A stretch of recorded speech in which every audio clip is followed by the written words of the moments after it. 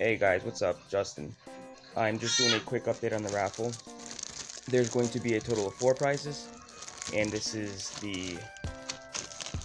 Let me get it. First, I think it's backwards, but first and second place prize. Which first place prize is a 1.200 gram of gold bag with uh, shark's teeth, silver, and mini gold shovel and a sticker. Second place is um, 1.14 to 1.15 grams of gold, again with shark's teeth, silver, the mini gold shovel, and uh, a sticker. And the third place prize is going to be either a vial of 0.310 grams of gold, or I can have it placed in a bag of dirt. It's um, mainly on whoever whoever wins it, whatever they want me to do, I'll do. And then fourth place is going to be a um, basically I guess a secret Santa drawing, you could say, you know, in which I will draw a name from the 20 people who participated in the raffle, and whatever whomever wins, I'm going to send you a Christmas gift that will probably be pros- prospect related, you know, pay dirt or just something. I'll figure something out. But um, yeah, there's 18 available. I'm trying to sell all 20.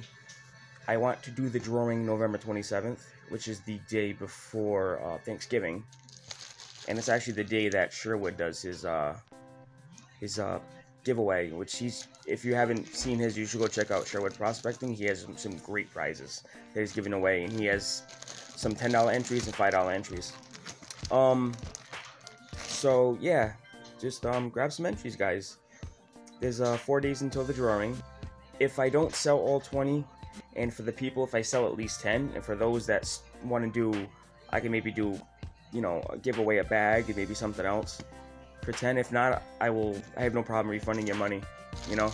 But, um, thank you for everybody that supported in the last raffle, and thank you for those who are supporting me in this raffle. And this will probably be the last raffle I throw for a while.